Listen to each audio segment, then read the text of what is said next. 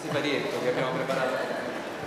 E ha messo su un blog molto molto noto che, che si intitola nuovoeutile.it ed effettivamente poi tramite Anna Maria io ho scoperto che era stato già il matematico Poincaré tanti anni fa a definire la creatività in termini di due concetti che è novità e utilità ed è un po' la cosa che troverete un po' sempre durante questa giornata. Essere creativi, almeno nella nostra interpretazione, non è soltanto essere originali, che a volte potrebbe significare anche essere strambi, ma il fatto di produrre delle soluzioni che vengono considerate buone, originali e utili anche dagli altri. Ed è questo quello che troverete un po' in giro, diciamo, giocando, perché tutte le cose che produrrete potranno essere riutilizzate da altri per produrne poi altre, una sorta di catena di, di innovazione fermo qui perché sicuramente Anna Maria è molto più chiamata di me, diciamo, se avete modo di, di, leggerlo, leggete il suo libro La trama lucente, io l'ho letto come romanzo da appendice, mi sono divertito tantissimo, ho imparato tantissimo, quindi sono solo da imparare. Grazie mille. Buongiorno a tutti. Eh, io ho scritto più di 400 pagine sulla creatività e non posso darvene conto in un quarto d'ora, è un fenomeno complesso, affascinante, variegato e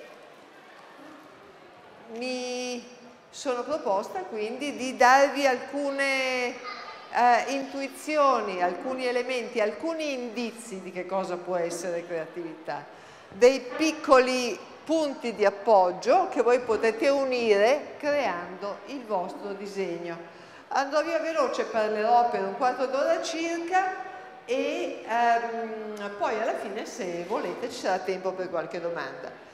Questa presentazione si intitola La creatività come atteggiamento mentale, cioè come orientamento ad, come orientamento ad essere curiosi, a non considerare eh, le cose come stanno, come se fossero nell'unico modo possibile in cui possono stare e a farsi domande e a perseguire il nuovo.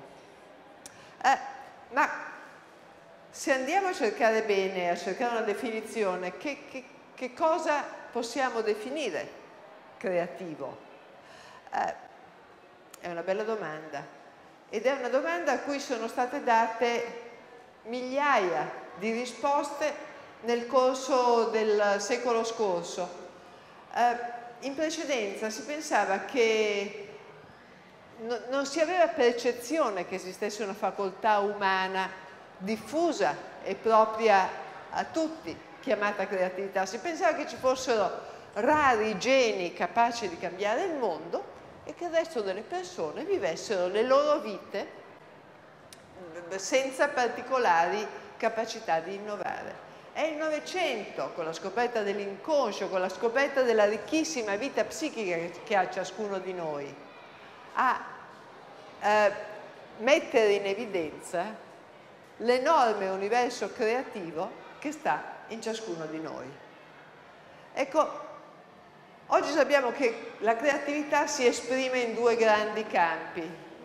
Lo scoprire cose che ci sono ma cui non, delle cui dinamiche non avevamo mai immaginato e pensiamo alla dimensione scientifica e a quanto le scoperte scientifiche hanno cambiato il mondo e hanno disegnato nuovi mondi.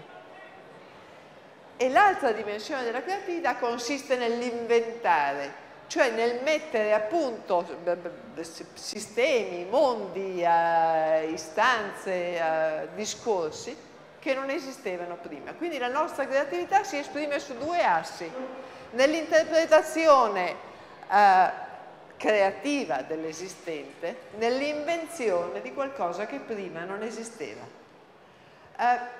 si scopre facendosi domande che nessuno si è mai fatto prima si inventa combinando elementi che già esistono in sistemi nuovi.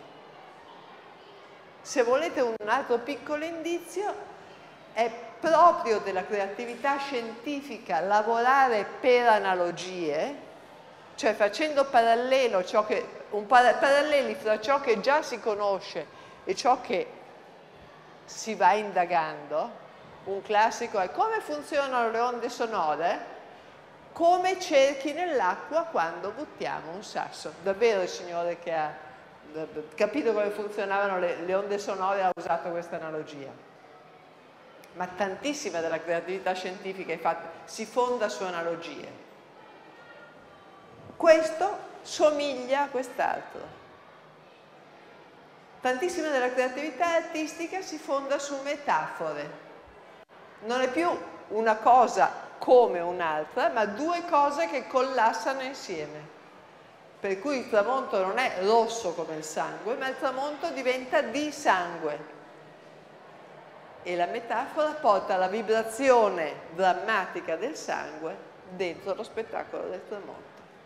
E se volete fare creatività scientifica usate le analogie, se volete fare creatività artistica usate le metafore. La creatività è dappertutto e ce ne, ce ne rendiamo son, conto soltanto guardandoci attorno. Immaginate che l'umanità non, non sia mai stata creativa e tutto quanto ci circonda sparisce. Spariscono le lampadine, sparisce la plastica, eh, sparisce il microfono, sparisce l'energia elettrica, eh, spariscono i nostri abiti perché nessuno ha mai inventato il telaio, e nessuno prima di questo aveva inventato la filatura, spariscono gli occhiali, sparisce il linguaggio, la più grande invenzione dell'umanità, quella che ha permesso che ci trasmettessimo cultura e che fossimo in grado di fare tutte le altre invenzioni. Se l'umanità non fosse creativa, qui dentro ci sarebbe un gruppetto di strani animali che si annoiano in attesa del pranzo, probabilmente.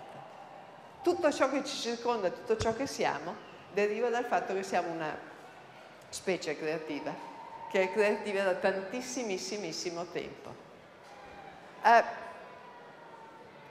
un altro equivoco da sciogliere riguarda il fatto che la creatività non è qualcosa che si studia, non è una conoscenza, non è neanche una scienza, cioè non ha regole fisse, eccetera. Sarebbe fantastico se esistesse una scienza dura della creatività che ci dà una serie di formule seguendo le quali possiamo inventare il nuovo. Eh, non mi risulta che sia così. Sicuramente, e forse i nostri amici di Crayon le troveremo, ci sono delle ricorrenze ma pensare che esista una formula della creatività fino a prova contraria, e specie della creatività artistica, mi sembra improbabile. Sicuramente ci sono ambienti che favoriscono, ambienti che sfavoriscono, processi che aiutano e processi che impediscono. Ma pensare che tutta la creatività umana funzioni sempre alla stessa maniera, senza componenti per esempio di caos e di serendipity, mi sembra improbabile. La creatività è una capacità, è una capacità che la nostra mente ha e che possiamo sviluppare in modo semplice, esercitandola, ponendoci domande, giocando a come sarebbe se cambiasse qualche dato, provando tutte le volte che possiamo a immaginare qualcosa che non c'era. Eh, entriamo un po' nel merito della definizione della creatività che ci danno i dizionari per capire che cosa c'è dentro davvero. Eh, il Devotoli dice che la creatività è una capacità produttiva della ragione o della fantasia e parla di talento creativo. Eh, lo Zingarelli dice capacità creativa, facoltà inventiva, la creatività dei bambini, eh, la capacità di produrre nuove idee, invenzioni, opere d'arte, eccetera capacità del parlante di usare il linguaggio. Entriamo nel merito. Il dizionario ci dice che è una capacità, quindi è una cosa che dobbiamo coltivare, non è solo una dote innata. Ci dice che è una capacità produttiva, questo significa che la creatività è sempre finalizzata, non è pura espressione di sé, è un'espressione di sé orientata a ottenere un risultato. È la produzione di qualcosa di nuovo che sia appropriato, cioè utile. Ci dice che è una capacità della ragione o della fantasia, cioè che coinvolge sia il pensiero logico sia il pensiero analogico. Ci dice che è una capacità di produrre nuove idee, quindi la creatività è preliminare all'innovazione. Non può esserci innovazione di processo o di prodotto, cioè il, eh, il fenomeno per cui eh, un'idea nuova si diffonde nel contesto sociale se prima qualcuno non ha avuto quell'idea nuova.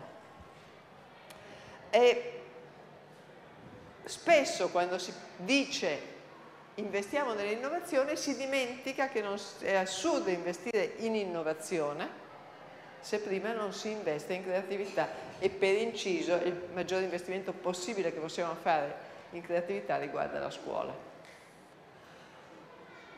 Il dizionario ci dice che ci parla di invenzioni e ci dice implicitamente che la creatività comprende arte, scienza, tecnologia.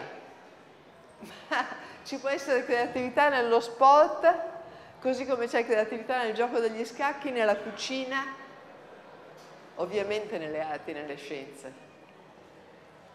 Il dizionario ci dice, ci ricorda che la creatività è connessa con il linguaggio Aggiungo e sottolineo che questo è importantissimo, il linguaggio è una metacompetenza, cioè una competenza che ci permette di appropriarci e di esprimere mille altre competenze. In sintesi, come diceva Poincaré, la creatività consiste nell'unire elementi esistenti in combinazioni nuove e utili o nel sistemare, se parliamo di creatività scientifica, elementi esistenti in combinazioni che siano nuove e utili. Eh, nuovo vuol dire inedito, mai usato prima. Questo significa anche che oggi, forse una volta no, ma oggi la creatività è sempre competente e istruita. Se non si va a vedere che cosa già c'è, si rischia di inventare l'acqua calda. Da questo punto di vista Internet è un grandissimo strumento di creatività perché ci mette a immediata disposizione lo stato dell'arte di tutte le competenze mondiali. Ma quando parliamo di nuovo e utile, ribadiamo anche che il processo creativo, il pensiero creativo deve sempre porsi il tema dell'appropriatezza e del valore delle idee che produce. Ed è un valore che non necessariamente è solo economico, può avere tante dimensioni, può trattarsi di valore etico, può, trattarsi di valore estetico, ma solo ciò che è utile, cioè che esce da me e che un altro essere umano, un altro individuo o che il mio gruppo sociale trova utile, può essere collettivamente riconosciuto come creativo. Da questo deriva un fatto mica irrilevante. La creatività non è un fenomeno individuale, è un fenomeno che ha origine individuale, ma il suo punto di verità è sociale. Io non posso darmi da sola lo statuto di creativo. Sarò un creativo nel momento in cui almeno un altro essere umano trova che ciò che ho pensato è insieme nuovo e utile. In questo la creatività somiglia molto alla comunicazione.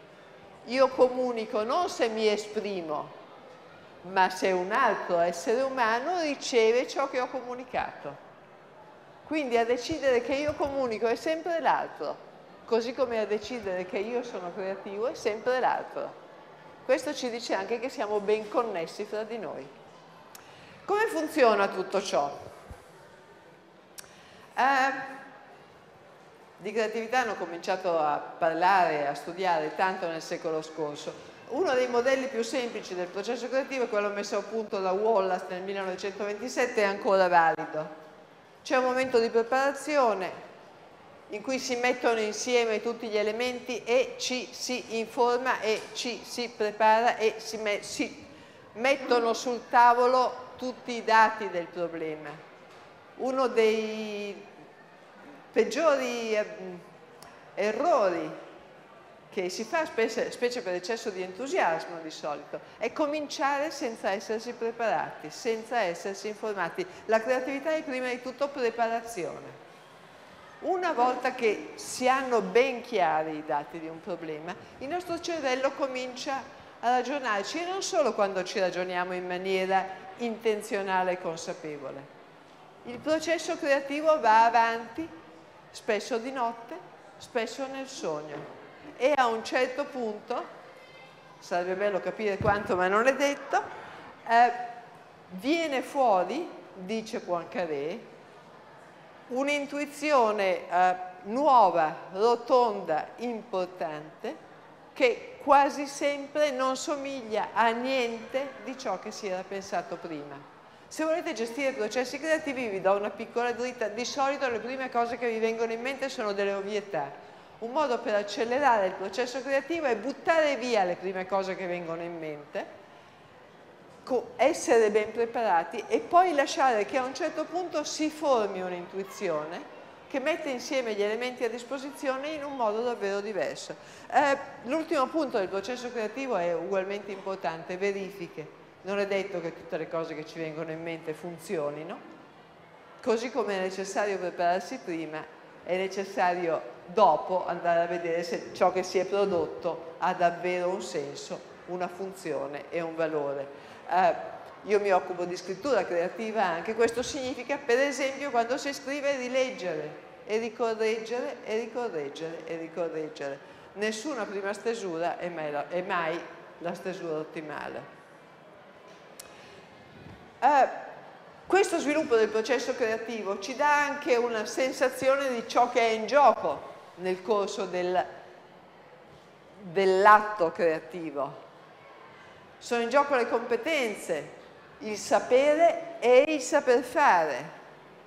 Eh, bisogna essere focalizzati, cioè concentrati sul problema, ma non così focalizzati da perdere di vista le altre le, tutta l'intera gamma del, del, dei possibili, delle opzioni e delle possibilità. Bisogna essere orientati perché altrimenti ci si perde. Un altro dato rilevante del processo creativo è che è un processo solitario ed è un processo per gente tosta. Nel momento in cui si abbandona il sistema delle consapevolezze precedenti e ci si avventura in un universo nuovo, sia l'invenzione di, di, di un piccolo haiku, eh, sia l'analisi di un uh, fenomeno assai complesso, comunque si è soli e bisogna essere tenaci, bisogna stare attenti a non perdersi di direzione. E poi l'altro dato importante che ci dice la sequenza di Wallace, di Wallace è che la creatività è sempre gli hanno detto la creatività è una faccenda dell'emisfero destro che è innovativo. Non è vero, prima di tutto si è scoperto negli ultimi anni che non esistono due emisferi che litigano tra di loro. Tutto il processo di pensiero dentro il cervello è integrato e avviene per, grandi aree, per macro aree e grandi sistemi. Ma lo stesso processo creativo avviene per una costante alternanza di pensiero logico, razionale, lento e di pensiero eh, intuitivo, analogico, veloce. Eh, in un processo di soluzione di problemi questa sequenza funziona una volta fino ad arrivare alla soluzione, ma se affrontiamo un problema a n soluzioni come la scrittura di un romanzo, questo processo idealmente si riproduce per ogni frase che scriviamo. E poi per ogni capitolo che, rivediamo. E poi quando rivediamo l'intero romanzo. Quindi potete vedere il procedere della creatività come un sistema frattale in cui piccoli atti creativi configurano poi tutti assieme un grande atto creativo. Siamo tutti creativi, come no? Certo, con varie consapevolezze in varia misura. La cosa vera è che più sappiamo, più possiamo inventare. Questa è una delle cure più emozionanti che possiate vedere consiste nel progresso e nell'incremento e nella diffusione della scolarizzazione eh, dal Novecento a oggi, fino al Novecento, bene o male, a essere eh, fortemente scolarizzati erano delle super elite, i figli dei ricchi, delle classi dominanti e basta, una frazione minima dell'umanità.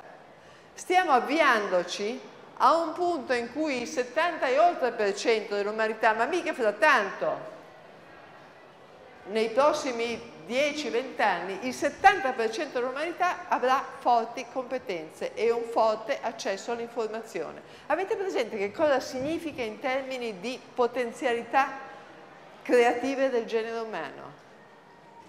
Quando le, con, le, con, uh, le conoscenze che prima erano limitate a pochissime diventano estese, espanse con l'enorme uh, empowerment, direbbero gli americani, del web. Gli animali sono creativi, certo che sono creativi, sono creativi quando devono trovare da mangiare, ma sono creativi in maniera lenta, casuale, eh, sono creativi mettendo a punto nuovi comportamenti per trovare il cibo, eh, sono creativi perché gli tocca esserlo per sopravvivere e quando c'è attorno a loro una moderata pressione ambientale, cioè quando il cibo è disponibile ma non facile da trovare. Sono più creativi i giovani e le femmine per un motivo molto semplice, sono ultimi nei turni alimentari.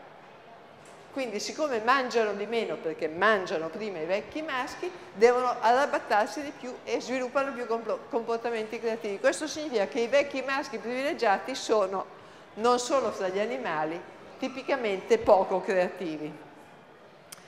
La creatività animale si diffonde come nuovi costumi all'interno delle comunità. Per gli esseri umani è tutto diverso, noi siamo veloci, il nostro pensiero è finalizzato, gli ambiti di applicazione della creatività sono amplissimi, dalle arti alle scienze alla tecnologia, dicevo alla cucina allo sport. Eh, quello che ci muove non è tanto il bisogno di mangiare, ma è la curiosità e la sfida e l'insoddisfazione. Chi è creativo non è mai soddisfatto, è un'anima tormentata, è un po' un'anima in pena. La creatività è insieme l'esito e la medicina dell'inquietudine. Eh, siamo creativi quando c'è un'alta pressione individuale sull'eccellenza, cioè non nei posti che tollerano eh, l'assenza di merito. Siamo creativi in situazioni meritocratiche avendo a disposizione tutti gli strumenti necessari. Non è esattamente la situazione delle nostre università. Chi è creativo? Giovani, acculturati, sfidati, ma anche anziani in tutte le discipline umanistiche, cioè quelle che, che riguardano non un uso super intensivo delle, di energie intellettuali, ma un uso costante, esteso e il possesso di un grande magazzino di esperienze. È difficile che uno che un fisico o un matematico tocchino il picco della, della loro creatività a 60 anni, ci riescono molto più da giovani, è possibile che un romanziere tocchi il picco della sua creatività da, o un pittore tocchi il picco o un musicista tocchi il picco della sua creatività anche da anziano. Uh, perché alcune persone sono più creative degli, di altre? Siamo più creativi degli animali e l'ho già detto perché abbiamo incominciato a parlare circa 200.000 anni fa e perché il linguaggio ci permette di trasmetterci cultura alcune persone sono più creative del, delle altre perché hanno un po' più talento ma soprattutto perché hanno una grande tenacia. Il mestiere della creatività è un mestiere per gente tosta. Sono tenaci ma possono essere ostinate, sono consapevoli ma possono diventare narcise e anche un po' prepotenti e anche permalose. Non sono incentivate dal denaro ma sono incentivate dal riconoscimento e dall'onore sociale. Sono severe con se stesse molto e sono più. Uno che non è esigente con se stesso difficilmente è creativo e viceversa. Possono diventare depresse perché si bastonano troppo. Infine sono giocose ma possono essere infantili. Questo è un repertorio di una serie di studi grossi psicologici sulla creatività, fatti anche di recente. Questo significa che non è facile essere creativi, non è facile negoziare con le persone, con le persone creative, molto creative, eminentemente creative, ma può valerne la pena. Eh, Un'ultima domanda, è vero che per pensare in maniera creativa bisogna smettere di ragionare? No, bisogna, come dicevo prima, alternare pensiero logico e pensiero analogico, parole e metafore spaziali, eh, elementi visivi ed elementi verbali, sapendo che il salto creativo comunque di solito avviene sempre lo dice anche Einstein, dice a un certo punto, io prima vedo le mie soluzioni, poi le elaboro. Spessissimo le metafore della creatività ci parlano in chiave visiva, spessissimo il primo insight creativo avviene in chiave visiva. Bisogna vedere con gli occhi della mente. Infine, la creatività è fatta di diversità e mai come oggi dobbiamo ricordarlo. Numerosissime ricerche ci dicono che i gruppi creativi sono tanto più produttivi quanto più le persone sono diverse per età, provenienza, cultura, gusti, abitudini, che le diversità di genere, di uh, visione del mondo, di formazione sono fondamentali per mettere a punto risultati davvero creativi. Quindi sono più creative le società aperte, quelle tolleranti e quelle che accettano e valorizzano la diversità. Questo significa, e con questo chiudo questa presentazione, che la creatività, dicevo, è un percorso difficile, è un percorso sfidante, è un percorso appassionante, è un percorso in cui si sta soli e in cui spesso si inciampa. Ma risollevarsi e arrivare poi alla meta è straordinario proprio perché si è corso il rischio di inciampare. Quindi Percorrere strade creative significa anche affrontare qualche rischio e sapere che chi non fa non sbaglia, ma che non fare per non correre il rischio di, di, di, di sbagliare non è una buona idea. Quindi, come ci dicono tutti anche i guru della creatività e dello sviluppo personale, sbagliamo allegramente senza perdere direzione, sapendo che di sbagli e poi la stricata la strada che ci porta alle soluzioni nuove e utili. Grazie.